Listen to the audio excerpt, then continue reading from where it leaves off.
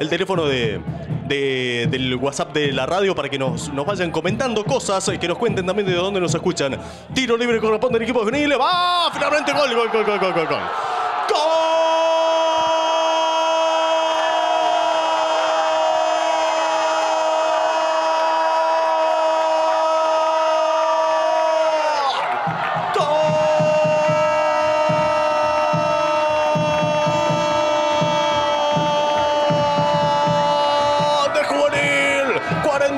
43, 43 minutos el capitán del barco. Claro que sí, el capitán del barco se eleva, se eleva por encima de todo, se puso los resortes en los botines. Nadie se esperaba que la peinara como la peina. Nahuel Caller, el villamariense que vino a hacer de las suyas hace un tiempo atrás, ya es un vecino más. Nahuel Caller se eleva por encima de todos, la peina, tac, a cobrar el primero de la tarde antes del descanso por el final del primer tiempo. Lo que sabemos es que un centro perfecto, milimétrico, metió la cabeza, el frentazo, un gol excepcional del capitán de Juvenil para poner arriba sobre el final del primer tiempo. Juvenil y gana el equipo tricolor por un tanto contra cero.